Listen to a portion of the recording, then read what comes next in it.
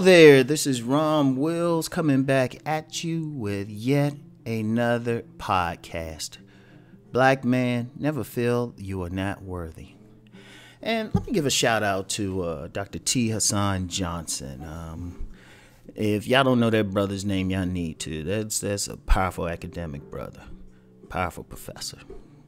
You know, really fighting, you know, just fighting for black men out there, right?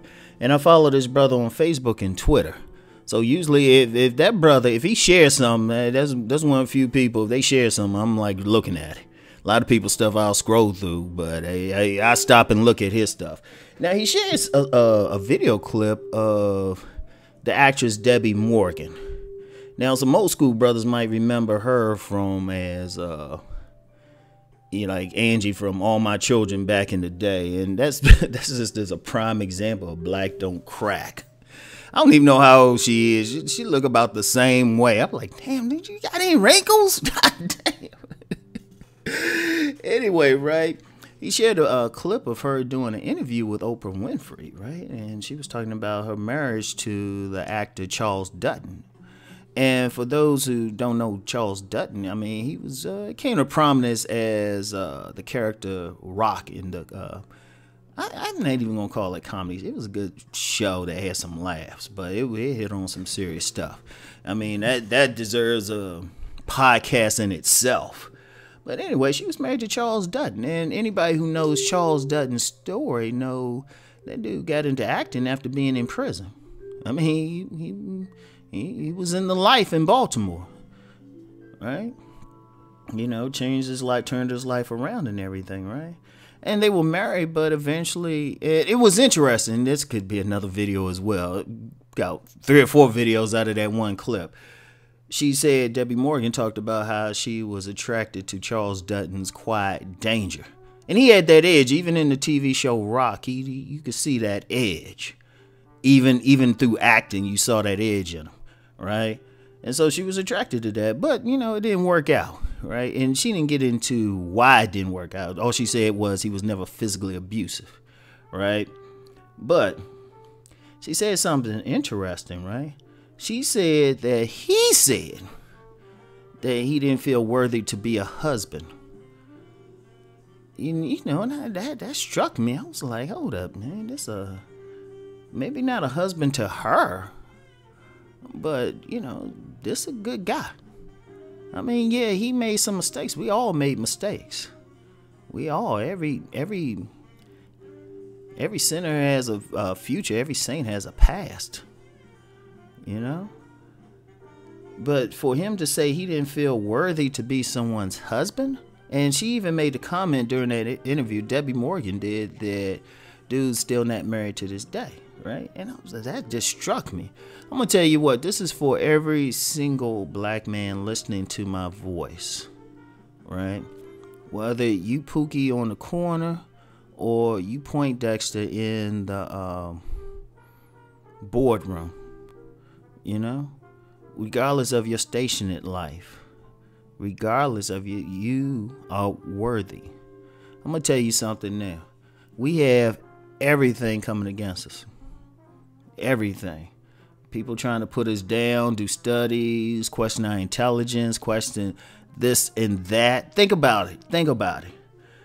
Even our own women, collectively, collect i'm saying collectively not individuals yeah i know there's some brothers out there get respect from sisters and uh, found like sexually attractive respected for what they did but if you look at it collectively nah so we even catching it from our own women which is a major issue anyway that we need to deal with but that that's another video and other people are actually addressing the issue so but Understand something, black man.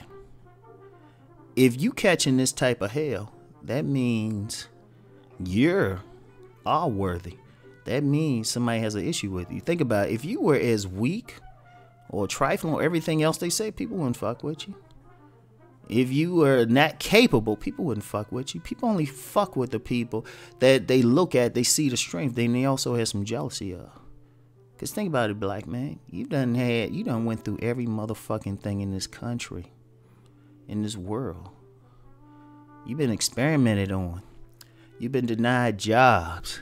You've had your intelligence questioned. And you still motherfucking here. Think about that shit. You know, even on this channel, I've had people try to come at me and say all this, and I just kind of laugh at it. Because I'm saying, motherfucker, all that shit is weak. Because as soon as you start fucking with me, that tell me I'm hitting it. Like, a lot of people will make a mention if I, like, if I get a thumbs down on a video or something, right? And I'm never upset about it. I was like, oh, that means I've hit the target. That's how I know sometimes. Sometimes if I, if I don't get a thumbs down on a video, I worry about it. I was like, oh shit, I, I, I must not have said much. But I know my worth. Like I said, ever since I was young, came people came at me. I remember, like I said, I've said this before. You know, people talk about colorism. I remember I caught that back in the '80s. I caught that back in the '80s, right? But then and there was a second there. I was like, oh shit, you know, people fucking with me because I'm chocolate. But then I said, yeah, you know what? People are fucking with me because I'm chocolate. I'm like, I felt good about that shit. Cause you ain't gonna fuck with somebody. They people don't fuck with people who like are truly weak or whatever. You feel sorry for them, but you don't fuck with them. Nobody fucks with special needs people. You know. So if they even fucking with you, if they even talking about you, you are worthy. You know, everybody try to pathologize us. But shit, you know what? We took all this shit. We took the best that the fucking world had to uh, throw at us, and we still here. We walking tall. We walking with some swag. Cause even even a brother in corporate Americas, even no matter what, no matter what's going on with them, we kicking ass. You know, whether it's the corner, whether it's corporate America, shoot, whether it's uh, you know, doing some blue collar work. Shoot, whether it's helping out with the kids, I mean, we be doing shit with nothing. and for a man, especially a man of that stature or any man, like I don't want to hear that from anybody. Like I get some, I get some people hit me up privately. They hit me up privately and they feel like, oh, I ain't this, I ain't that. Motherfucker, you still here. That makes you worthy right there. Shit.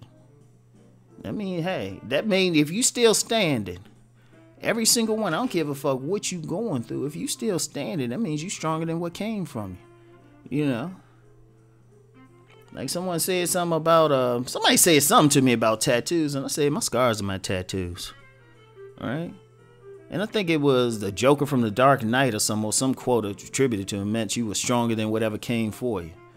If your ass listening to the sound of my voice no matter what you're going through, that means you're worthy because you're still here. No matter what the world threw at you, they couldn't do anything to you. And I don't care. And I know, like, even on YouTube, even on YouTube, you know what? We got all these brothers going against each other and shit. But you know what? Y'all got the ability to do it because y'all was stronger than whatever came at you.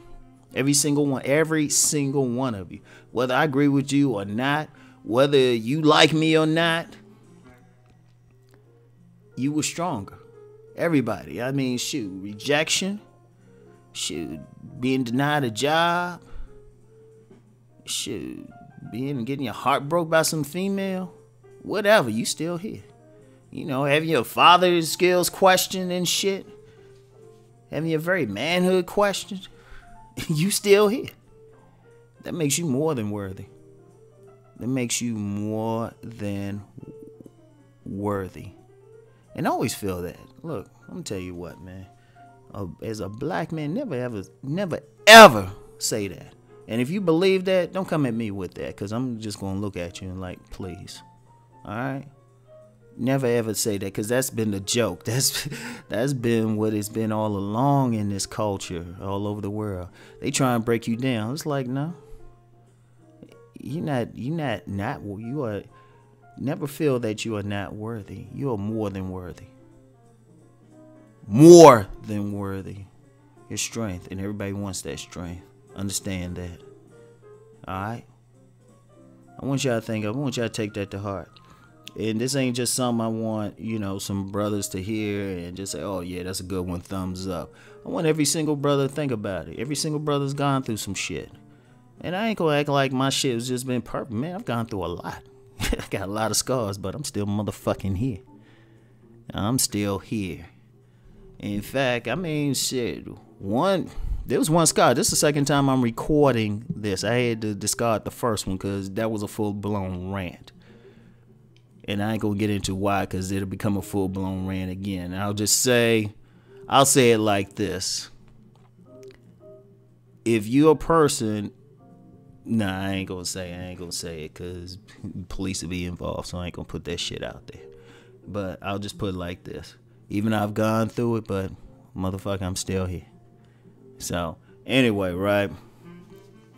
I want y'all to think about that, man. Don't ever say that shit.